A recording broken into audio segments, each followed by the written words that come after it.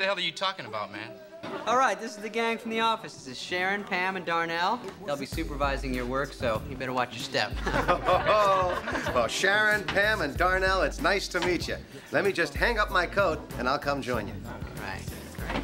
Hey, Raymond! There he is. Hi, Raymond. How are you? I'm all right. Let, uh, me just get a chair. Oh, no, I take mine. I'm going to the bathroom. You guys all work with Steve, huh?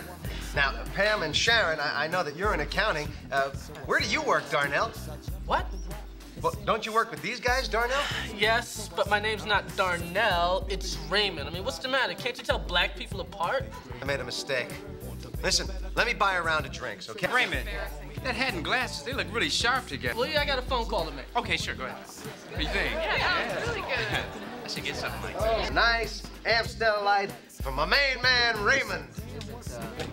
now, I hope the draft is okay, Raymond, and I, I'm really sorry about that mix-up.